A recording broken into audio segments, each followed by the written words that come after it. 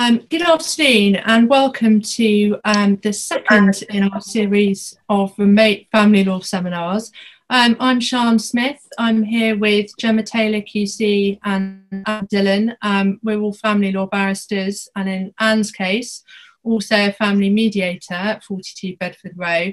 Um, and importantly for this evening, the Vice Chair of the National Association of Child Contact Centres.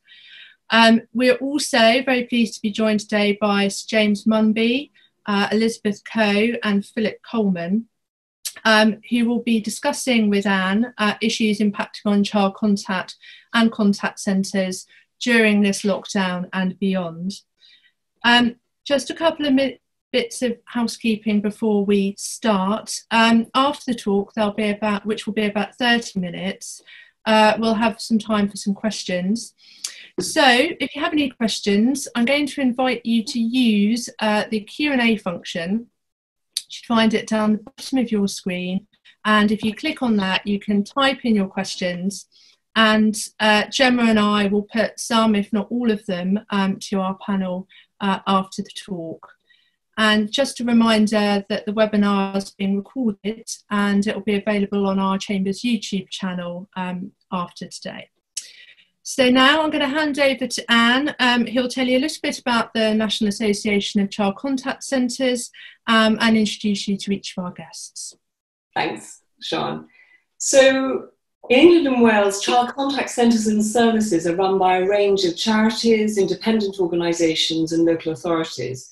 And 350 of these form the National Association of Child Contact Centres, known as NAC. NAC centres facilitate families who self-refer, who are in pre-proceedings, who are in private family law cases and in public family law cases. NAC's work also involves accreditation, which is overseen by an independent standards panel which monitors, reviews and updates the accreditation standards by which the centres operate. We accredit around 350 centres across England and Wales. And these centres are run by 3,500 volunteers and 1,000 staff. And this enables around 20,000 children each year to see the parents and families they no longer with. Um, I'm delighted this afternoon to be, um, be joined in the seminar by, as um, Sian's already said, Elizabeth, Philip and Sir James.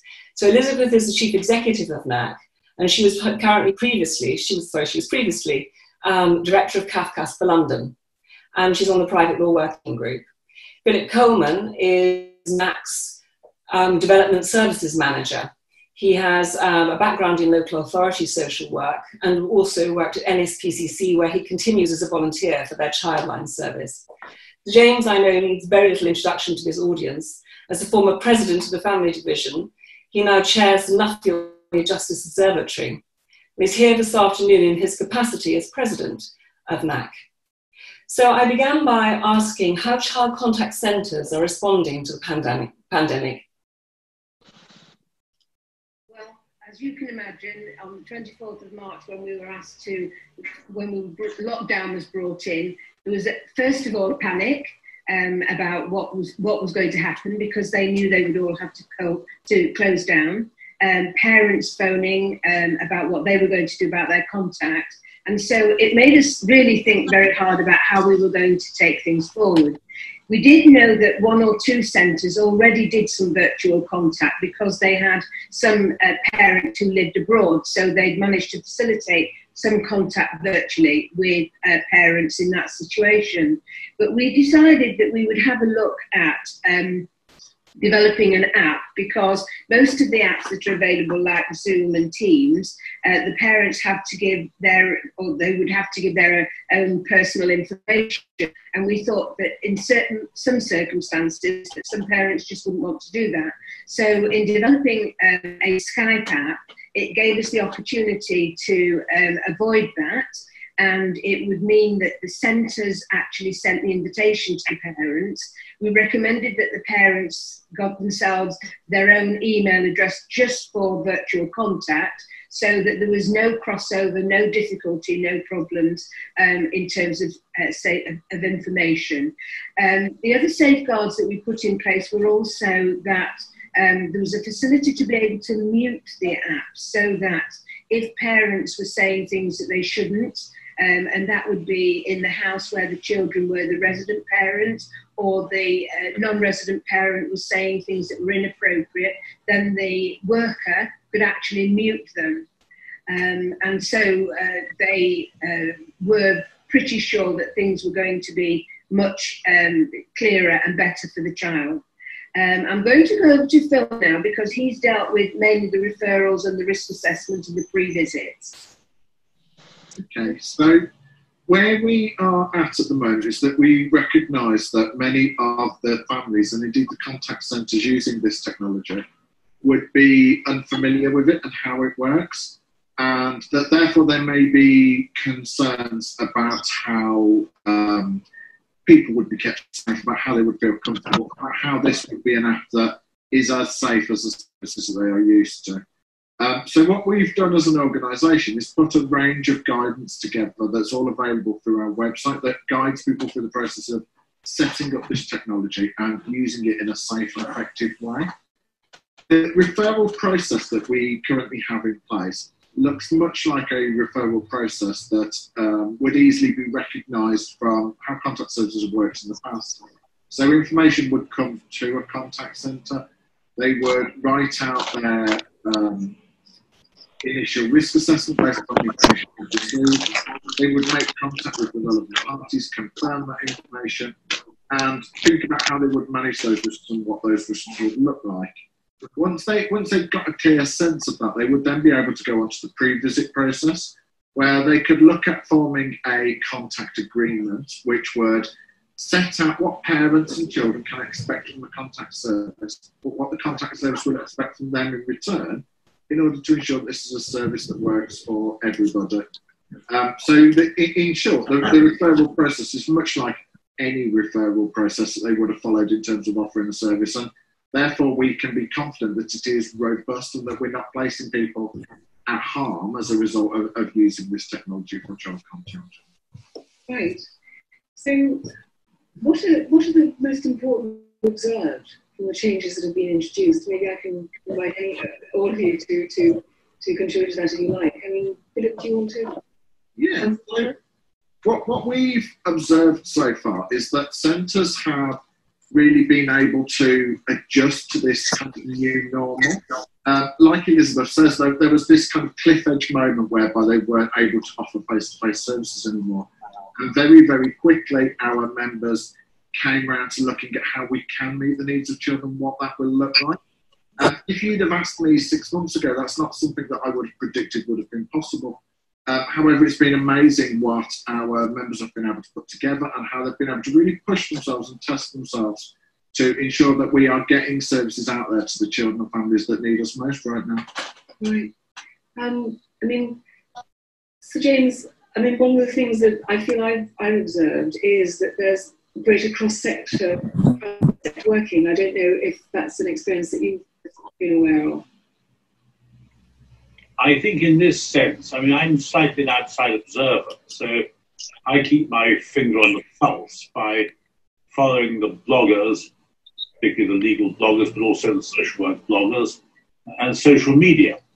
And I think one of the consequences of this crisis we've been going through is that there's been much more conversation um, online in blogs between the different uh, players in the family justice system. Um, and people have got used to escaping from their little professional silos uh, and are now familiar with the idea of uh, in starting conversations, joining in conversation. Many of those conversations, I have the impression, both on blogs and in social media, um, are much more uh, cross-professional uh, much more all embracing than were the similar conversations before the present crisis. Right. It's true to say it's it's true to say as well that we've had a lot of uh, multi-organisation meetings with people like Cafcass, One Plus One, um, Childline, uh, all sorts of people just talking to them and, and, and, mediation services, just talking to them about what we're doing, what NAC's doing, um, and also making sure that they put their the information on their websites as we put their information on our websites for whatever new stuff that they're doing because of the COVID. Right. So, so James, what are your thoughts on the rapid increase in the and the use of digital technology you know, keep, for keeping children in touch with their families? Well, I've got, I suppose, four points which range from the general to the more particular. Uh, the first point is the, the idea that when this crisis is over, what I might call the post-COVID world is simply going to revert to the pre-COVID normality, I think it is completely misconceived. Um, we are going to be in a new world.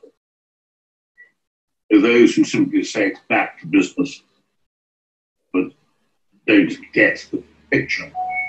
Um, the second point I'd make is this that under the force uh, of this crisis, um, we have had a crash learning course, uh, if I might put it that way, in digital possibilities. And we've seen that, I suppose, in four different areas. First, in the way in which the courts move. Right? Secondly, in the context of events such as this, um, which never took or the crisis, and are now rapidly, during the crisis, replacing the more traditional seminar or face-to-face gathering. Um, thirdly, it's had an enormous impact the way in which charities and other third sector organizations, including NAC, uh, provide services, disseminate information, and provide support. Fourthly, it's had a great impact on the personal family level, as we all tend to experience under the crisis conditions we live in. We are now much more familiar than most of us were a few weeks ago with platforms like Zoom, and we're now much more familiar than we were so very recently with having regular chat conversations with members of our families. And for those who can grapple with the technology, getting surprisingly large family gatherings together or participating in the one Zoom uh, event. I think the third point I'd make is that we've got to take advantage of all this experience, I've learned in order to have a much more nuanced and subtle between ourselves as to what the post-COVID digital world would be like. And in that connection, we have got to avoid the excesses and the extravagances which hitherto have been characterized a polarized view on the one side, those I might be digital enthusiasts, whom everything should be digital, against, on the other side, those who I call the Luddites, that nothing be. And I think that the fourth point, coming closer to home, closer to the topic of this seminar, is we've got to seize this as an opportunity to make the most of all that learning we require as to the reality, to come up with some new things in relation to best contact, which after all is all about keeping children in contact with parents, other members of their family, whom they're not living, with whom therefore they're not interacting face to face on a daily basis. And uh, without anticipating points to take up later in this discussion, we, as indeed has been made clear by what we really heard, it is now becoming obvious there's enormous tension in the context of contact, in the context of contact for a more uh, digital approach in future. It's interesting, isn't it, that the um, that the there were there were two reports produced um, last week um, by the observatory, um, and it seems looking at those that quite a, quite a few of the sort of the findings um, very much chime with our own experience on the ground. Um, Philip and Elizabeth, I wonder if you would agree with that. Yes, absolutely. There's the National Association of Child Contact Centres, we've been taking our time to carefully look over the findings of those reports that have been put together and to make sense of what that means for the children and families that use our services. Um, and for the sake of being nice and succinct today, I'll, I'll, just highlight three of the points that were brought out in that report. So there was one that said digital contact is more immediate, less formal, and can help to facilitate relationships. That's something that we would support at NAC. We see that digital contact has a strong place amongst a package of other contact services. Um, those those children and families that have always enjoyed face-to-face contact, that there is still a place for that, and this digital contact shouldn't replace that, but it can be used to prepare children, or it can be used for those children whereby face-to-face contact just wouldn't have been possible in the past. Mm-hmm. In terms of it being less formal and helping to facilitate relationships, we know that um, digital contact can take place anywhere. So it can take place in a child's home where they've got their toys around them, where they feel natural, safe, and secure.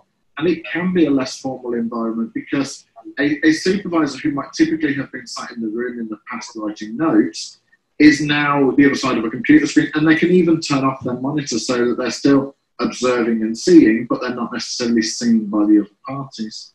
Yeah. Another finding that they kind of come up with a recommendation that they made was that digital contact should be used to enhance face-to-face contact rather than to um, replace it. And that, I think, was largely covered in the last point that I made. Digital contact has a place in preparing children, in um, supporting with life story work with children that are experiencing adoption or post adoption.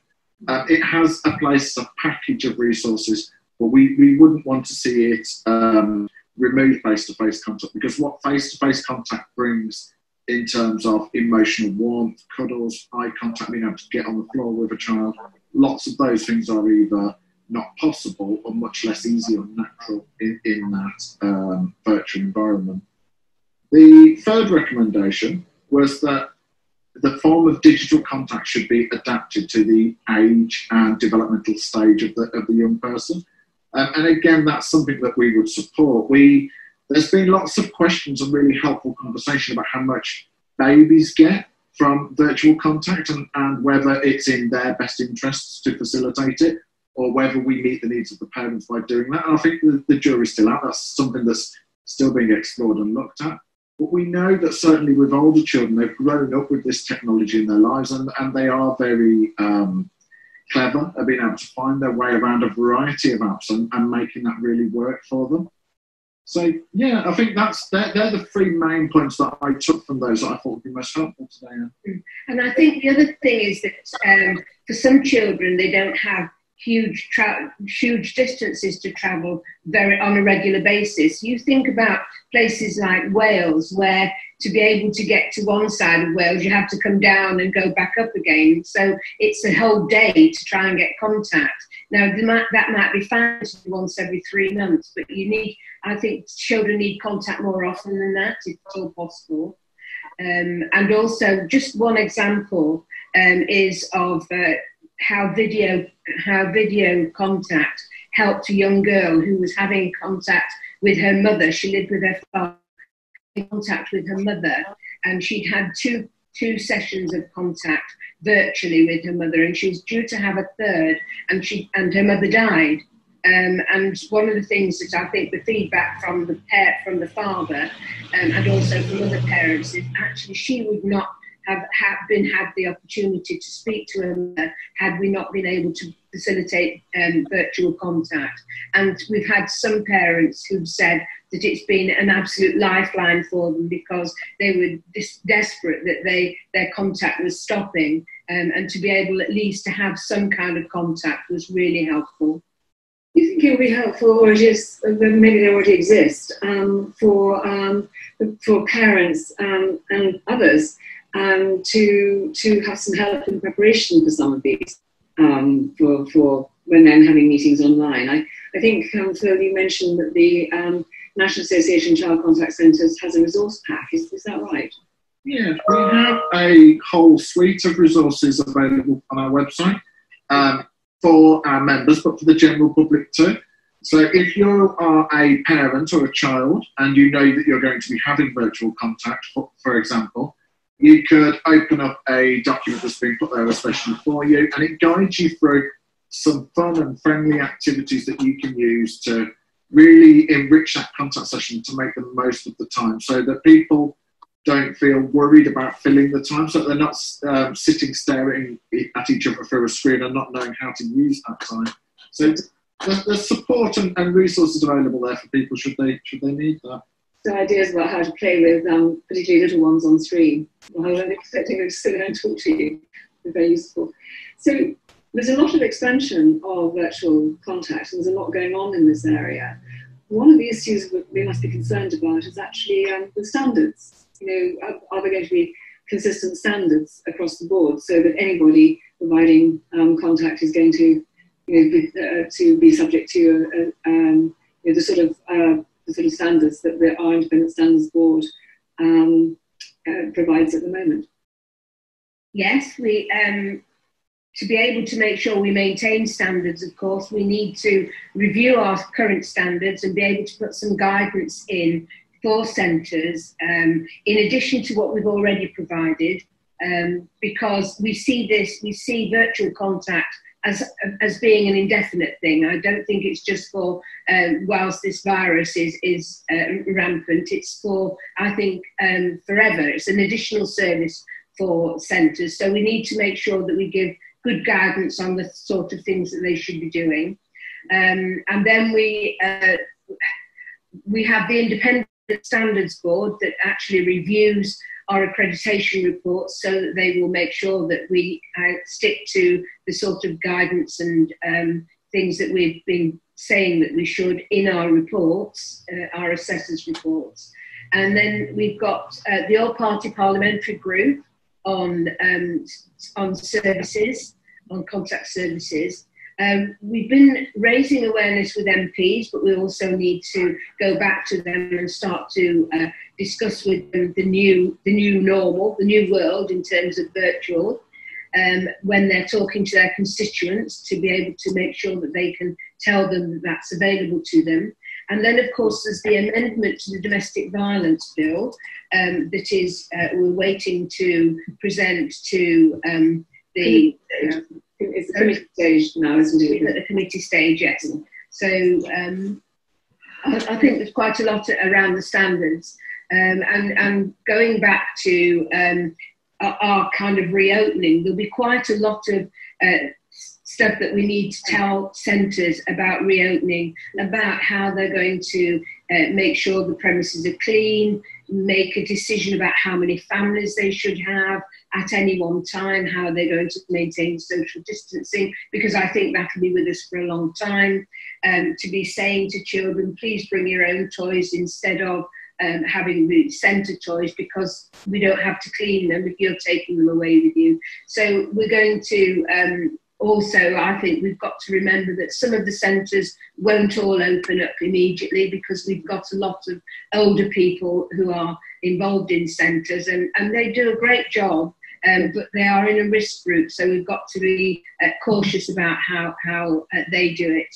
Um, and our safety measures, which we're currently designing, and a risk assessment tool, um, which we've put in, we've put in place, probably needs a bit more work um, between Phil and I, but uh, we've got um, a draft of something that we will send to centres that they will use as a, a, as a tick tick off questionnaire, and we're taking advice from the um, teachers' unions about how they're going to approach it because um, there are similarities with contact centres. Yes, thank you. So, so finally, um, so James, what do you think should be the family justice system's direction of travel in relation to keeping in children in touch with their families in the, in the post-COVID world? Well, very shortly, um, and I don't treat myself as being either one of the enthusiasts, certainly not one of the Luddites. We need to make more use uh, of the technology which we've now discovered uh, means that digital contact can be very, very effective. Yes.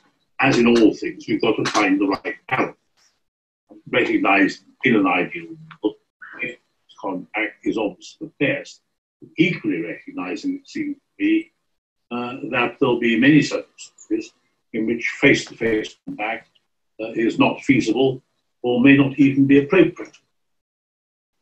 The vital need for all contact uh, arrangements is to establish, improve, maintain uh, relationship between children and uh, adults when they can't live together. Once upon a time, uh, that was seen in very simplistic terms. It was either direct contact face to face, or was indirect contact, which meant sort of and birthday cards. What we've been rather slow to appreciate until this crisis has driven us is that modern technology means that there are other ways, ways which more closely approximate uh, to face-to-face contact than to traditional indirect contact. That is the tremendous advantage of modern digital systems. And what we've got to do, uh, it seems to me, subject always to making sure that parents and others have the right kit and that we're using the appropriate digital platform, uh, we've got to make much, we've got to make use of digital arrangements wherever they are appropriate. Uh, and this is not a one size fits all, as in most things in family justice and family life. Uh, these things have got to be tailored to circumstances and needs of the particular families. Mm. Um, and one needs to recognize, this has been touched on already, uh, that there may be circumstances where frequent, regular contact is simply not possible.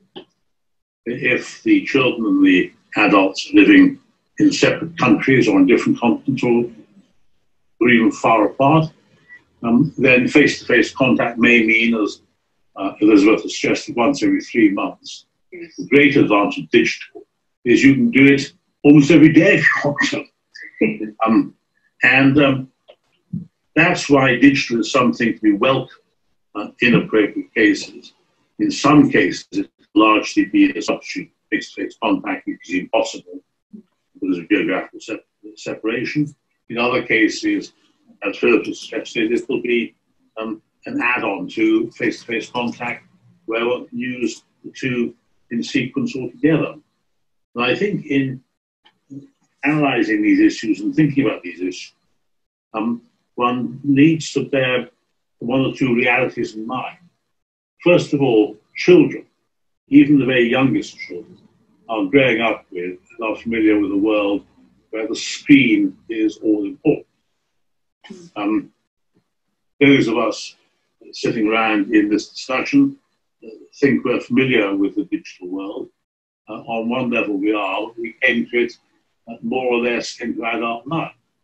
Uh, even the youngest children now um, are growing up in a largely digital world, where their first call, this is a good thing or a bad thing, uh, is the screen rather than the book or the television. And we need to think about this because if children are used to interacting uh, with their favorite characters or with their relatives on screen, mm-hmm. then from their point of view, uh, online digital contact may be um, more, more familiar idea, going off to some strange place, meeting lots of strange people. But I think we need to think about this from the children's perspective, realize their perspective probably very different in the modern world we live in than the perspectives uh, of many practitioners. Uh, secondly, of course, we need to be conscious of the fact that even for those who are not separated by the ocean by hundreds of miles, cost of getting uh, to a contact centre or to other arrangements Facebook contact may be very considerable. Uh, cost uh, those sitting around this table getting to a contact centre, whether by bus or taxi or car, is probably not that great. Be fairly easily accommodated within our um, comfort budgets. But for many, many people who are living in less advantaged circles, the cost of getting to a contact centre or contact people is very significant. Um, and so significant, the battle itself to the times it plays. That leads you on to the third point, which really been touched both on what I've said by what Philip has said. Digital contact can take place much more frequently, uh, in a sense, in a much more informal and natural uh, than does traditional close contact at contact center. And I think the frequency of contact is terribly important because if you're not living um, with your, your grandchildren, if they're not living with their parents or their grandparents, they're going to have a much better relationship, much closer relationship, much more natural relationship with those absent adults. They used to talk to them frequently by Zoom or something. And if they see them once every three months or so in some artificial setting. I think the frequency point is terribly important. And that's, I think, one of the trade-offs we have very carefully found the right balance. Is the frequency and the informality um, and the naturalness of uh, by digital means. Something which, uh, the case, in cases generally, counterbalances the disadvantage that although you're seeing people, not actually face to face not touch. Those, I think, are important questions. And they're the kind of points I think we can indicate that there's a real future, much more than we previously expected in the past.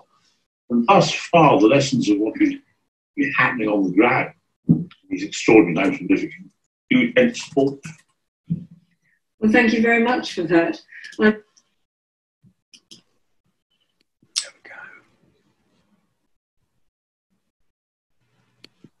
Welcome back, everyone. Thank you very much for that uh, really interesting discussion. I'm sorry it's ended quite abruptly. uh, my name's Gemma Taylor, and I want to formally and uh, profusely thank Sir James, Elizabeth, and Philip for contributing to this fast moving discussion about managing contact in lockdown and how much we have to learn about the effects of digital contact now and in the future. And also to Anne in particular for organising this event. Um, we're very grateful that you have agreed to answer a few questions from our audience. Um, some of you have already sent questions in, they've been answered already uh, in writing, others will be addressed now. But if you haven't sent a question in, please do so now. Um, however, I'd like to start with one from me because I have the advantage of having seen this talk already. And I went away, um, and this is addressed to Philip or Elizabeth, so please decide between you uh, who you'd like to answer this. Um, I went away and read the Nuffield Observatory Rapid Evidence Review on the effects of digital contact on children's well-being. And, and one of the problems identified is that it can be difficult for carers and professionals to set boundaries and supervise digital contact. Can you please explain a bit more fully how your professionals plan for and manage these issues.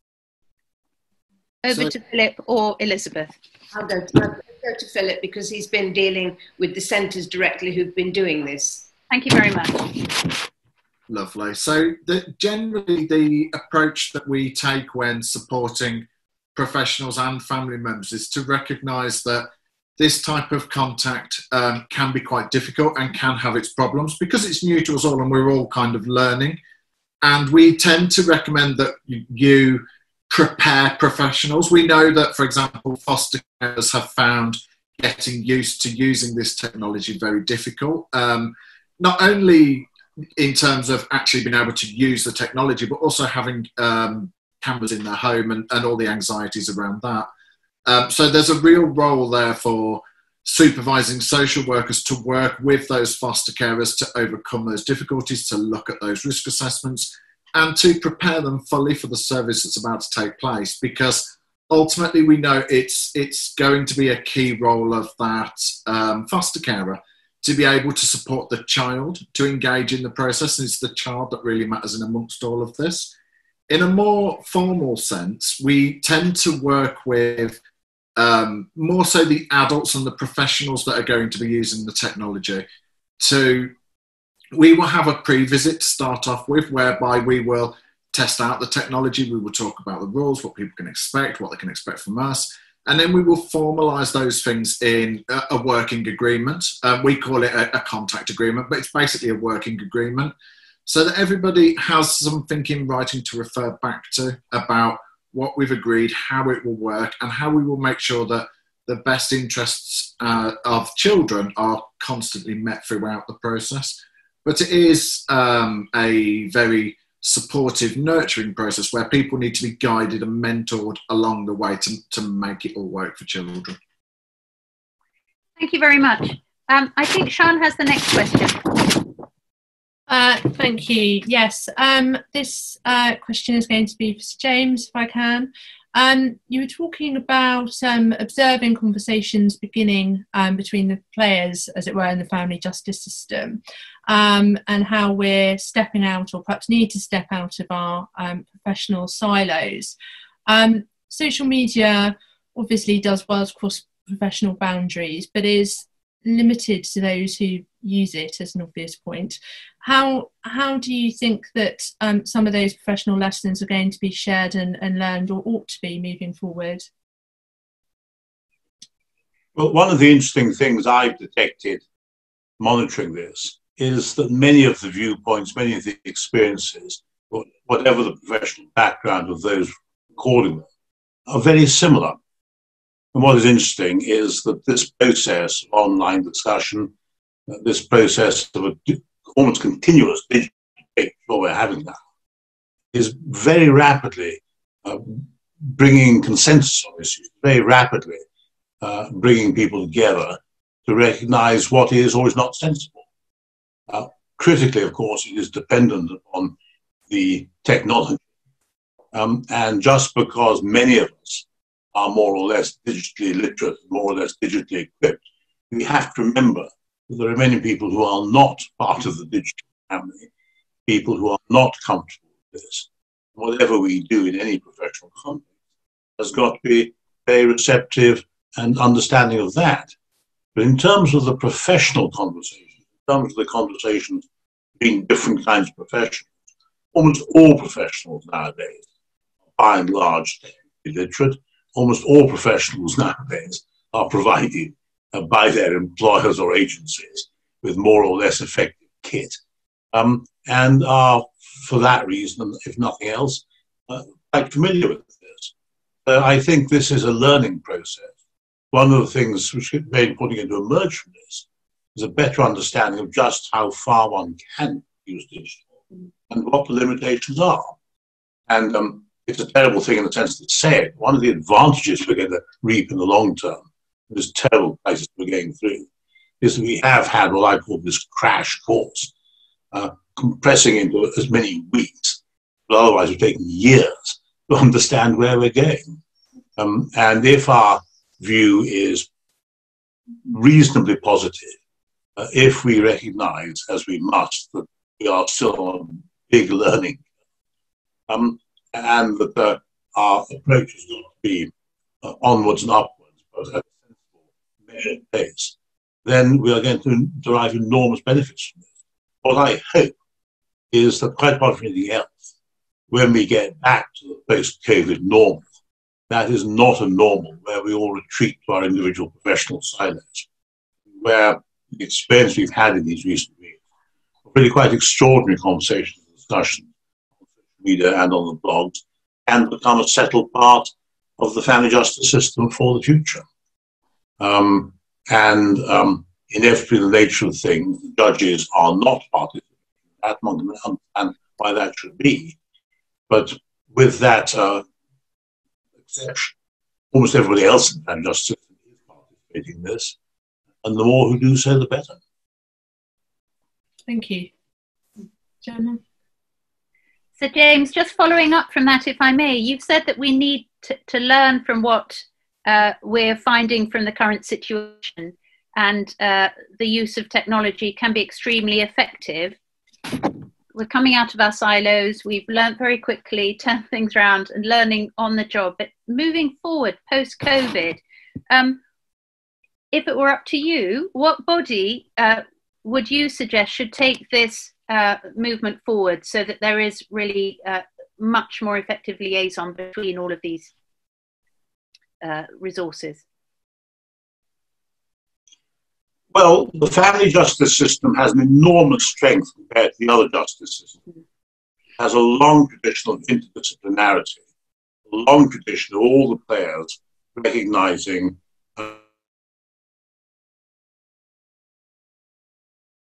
that gives us an enormous advantage if you compare us with either the criminal justice system or the justice. And the simple fact is that anybody who is an active participant in the family justice system, in whatever context, very quickly learns who all the players are.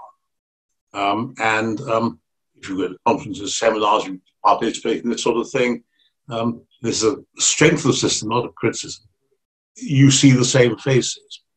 And by and large, what we've done so far is to get where we are without a very strong top down leadership. Um, I think leadership in this context is a matter of persuasion, not a matter of dictation. Uh, that said, and you might think, and uh, others may think, well, he would say that, wouldn't he? Um, ultimately, I think it's important to remember that the president of the family is actually the head of family justice. Uh, that does not give the president the power to tell people what to do, even the power to tell his judges what to do. His judges are independent. But it does give the president a tremendous role as a leader, as someone who, who can encourage and who, by diplomacy and persuasion, can move things in the right direction. For my own part, I'd be reluctant to see some very organized system uh, for moving all this forward, because that will become immensely bureaucratized. You'd have, you'd have enormous issues in the who should be on the and this and that. Um, and thus far, my experience of the family justice system, um, which I've been very close to appreciate for these last few years, is that we don't need that. And um, I think that uh, we can see as things have developed um, without being invidious. Uh, Mr. Justice MacDonald, for example, a key figure on the judicial front. He has taken the initiative under the leadership of the President's invitation uh, to keep on churning out and updating the guidance which is coming for practitioners from the judges. The President's been taking a very active role, and one can, also, one can think of others, just as one can think of others uh, in the want to take the political context, in the ministerial context, um, in local government, on and so forth. So I think um, if there's a shared will to move this forward, uh, that shared will, I think, and I certainly hope and believe, um, will uh, move us forward in the right direction without becoming bogged down in too much organization and bureaucracy. And um, if I can utter a slight heresy, one of the things which concern me in terms of moving forward on the digital front is if it becomes too bureaucratized, too organized, we may find movement forward, as I would hope, in relation to the family justice system, being held back uh, by more cautious voices uh, who might predominate in either the criminal justice system or civil justice system. I think in many ways, and I'm not talking about myself, I think in many ways for many years now, over the decades, family justice has shown that it can move forward under its own initiatives in a much more effective way, a much speedier way, way which is much more reflective of what society needs, either the civil justice or criminal justice system. So I'd be slightly reluctant to have this new bureaucracy. The idea that this will all end up with working parties and minutes and agendas with a certain amount of horror. But that said, I imagine others may take a very different view. Thank you, Sir James. Sian. Um, thank you. I'm going to um, pose, I think, two two questions as one to Philip, if I may. Um, the first is whether um, the experience of remote contact has mainly been in a supervised or supported uh, setting um, as things have gone so far, and um, as a second part, whether you've considered or um, what the impact might be on the capacity of contact centres where they've been providing supported contact um, and, uh, providing individual supervision of um, sorry, I'm someone's come off mute, it distracted me slightly. But um, so centres that are providing supported contacts, they have um, a few people supervising a number of families together will be restricted in their capacity to provide contact sessions uh, if they're taking place um, on this remote app. Sorry, difficult to follow. Isolate immediately and get yourself a test. Can I just ask that everyone uh, mute their microphone because I feel that we may have the government's coronavirus briefing uh, playing somewhere in the background. That's Thank that. you. We, we got Zoom bombed by the government there, I believe.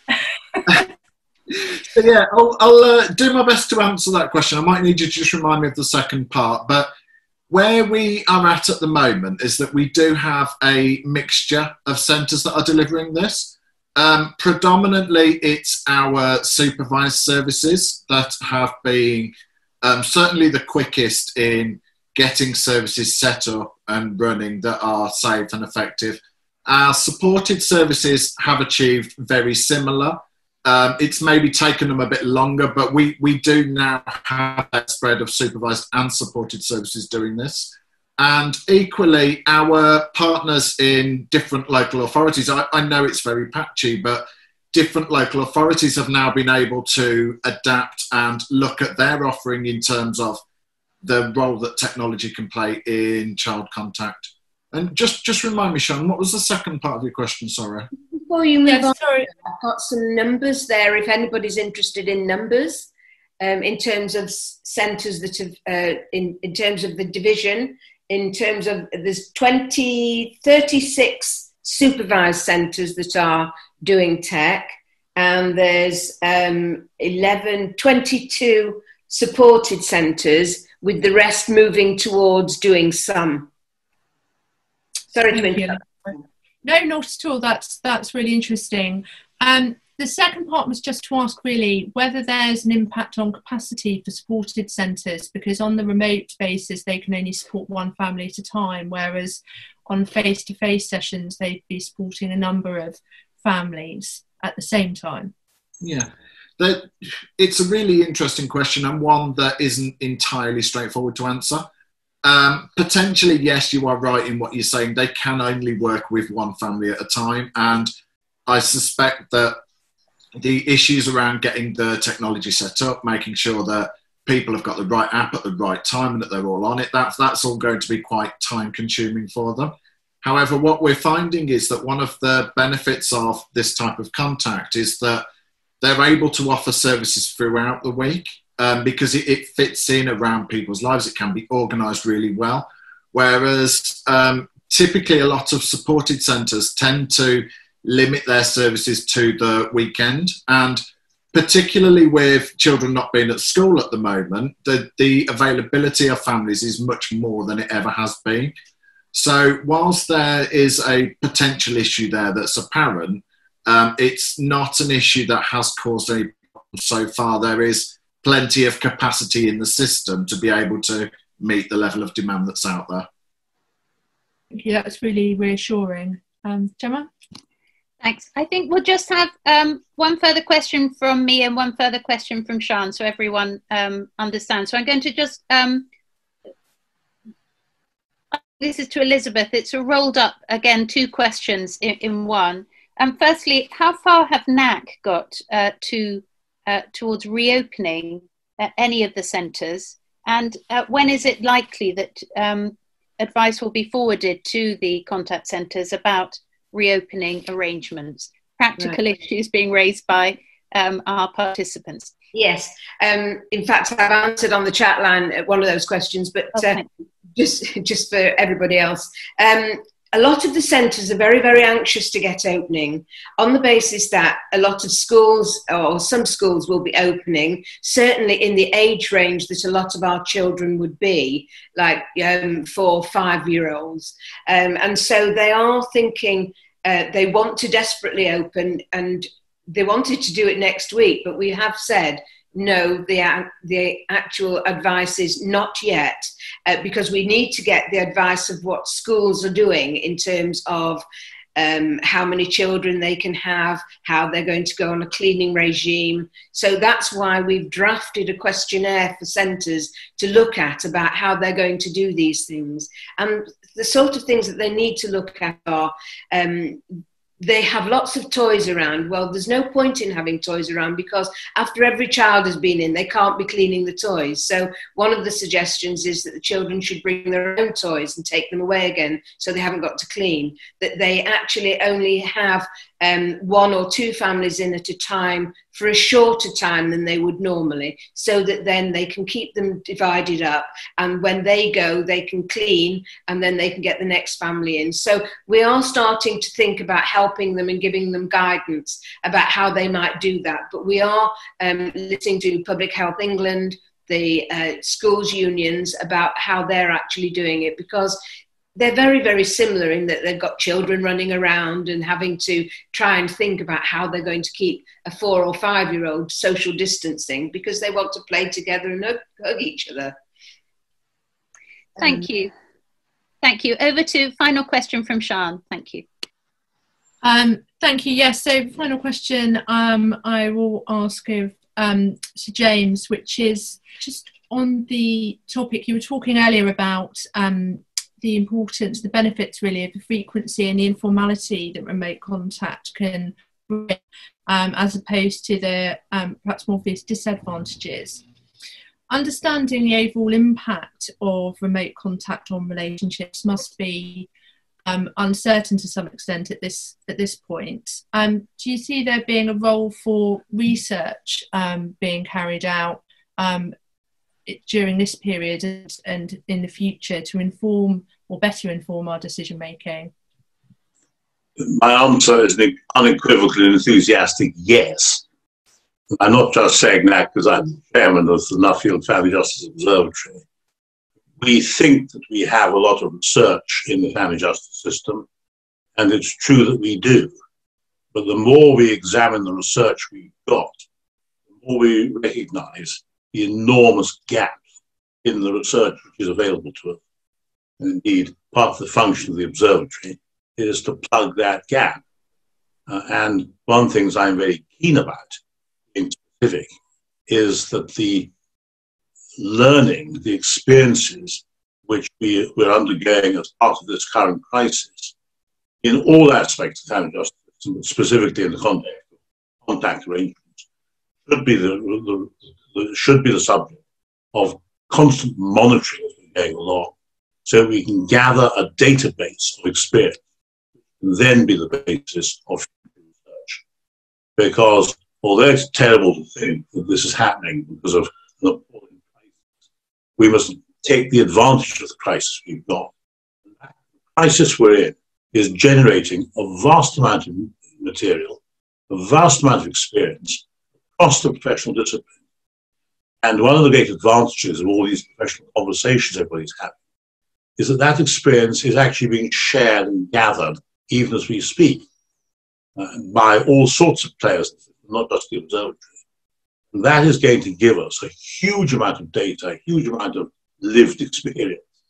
Um, by a huge number of people in a very short time, which must be the foundation of research.